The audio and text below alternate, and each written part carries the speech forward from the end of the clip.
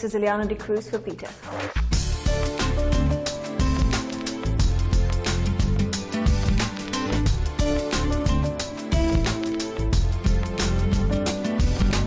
Based on a PETA Asia investigation, they found out that the rabbits are treated really violently. They're pretty much held down and tied up by the legs, and the fur is actually plucked out while they're still alive. Because of that violent nature of pulling out the fur while the animal is still alive, I mean, it goes into terrible shock and trauma, and most of them are still alive. And I think the ones that are alive are stuffed back into horrible cages and kept under horrible living conditions. So the rabbits pretty much traumatized by the end of the whole procedure most of them just die out of either crazy wounds or just the trauma of being kept in these horrible conditions.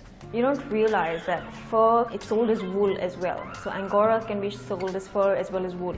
And you find it in a sweater or a scarf or um, you know any kind of really soft material. You have to actually check the labels to see what it's made of. And when you do find that it's made of Angora fur, I would really request you that the only way we can stop this is by not buying stuff like this and not supporting it. There's so many alternatives. I mean, we live in a country where we use so many cotton garments, and that's the best thing for our weather.